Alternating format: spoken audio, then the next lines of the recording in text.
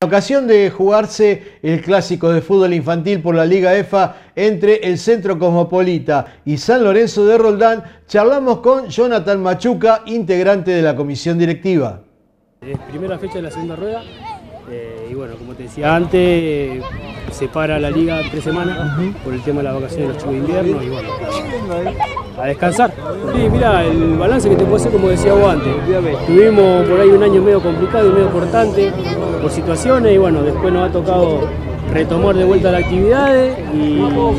te digo la verdad, es un buen balance para lo que es el club porque sin ir más lejos antes de que eh, arranque la pandemia estábamos bien armados, después se desarmó, estamos volviendo a rearmar toda la categoría, tenemos dos líneas con toda la categoría y bueno, el trabajo que hacen los profes, todo el club es un esfuerzo grande y bueno, tratamos de siempre invocarlo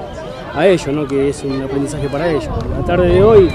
eh, sumado a eso, la tarde de hoy también fue buena,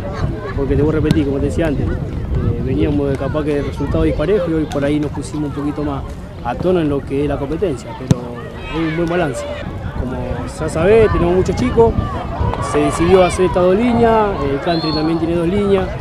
y bueno, no, le podemos decir a todos los chicos que no vengan a concurrir al club porque es un club social, es un club para la gente, toda la vida vos sabés bien.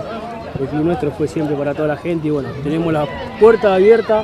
para todos los chicos que por ahí quieran concurrir, que quieran aprender, que se sume la gente también. Vamos a tratar de hacer eventos para que por lo menos el club eh, siga levantando, hay muchas cosas para hacer,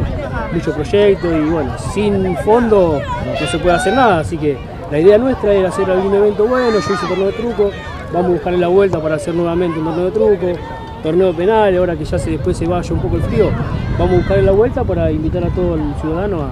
a, concurrir el club. Eh, sí, lo que es escuelita martes y jueves, de 6 a 7 de la tarde, o cualquier día de la semana se puede inscribir, sea escuelita, sea el más grande, como te dije antes, nosotros tenemos la puerta del club abierta para todos, más allá de que haya cerrado, nosotros lo que queríamos dejar a los chicos es un aprendizaje, y lo poco, mucho que uno sabe, aprender, o sea, que, que aprendan ellos, enseñarle. Y después de lo futbolístico, primero hacer buena persona, porque te voy a repetir un club social y la idea nuestra del club es esa, tener compañerismo, ser buena persona y después jugar al fútbol.